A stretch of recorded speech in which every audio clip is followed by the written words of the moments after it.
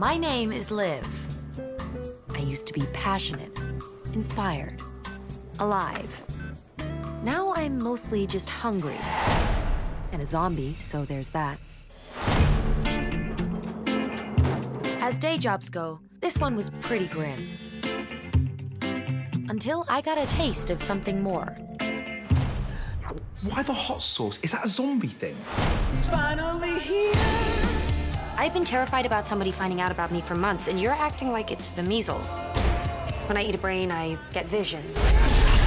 Flashes of dreams or memories. Dr. Death, what's the story with my Jane Doe? No idea yet? She was arrested in 2008. How'd you know that? Liv. It's a psychic. Ish. I can't refuse to be dead. I can't tell the people I love what's going on with me. But I can choose to help find justice. Calling out, you're my alibi that I'm still alive. Calling I saw you get shot. He missed. I played dead, and then I guess I chased his car. Seriously, how did you solve crime before me?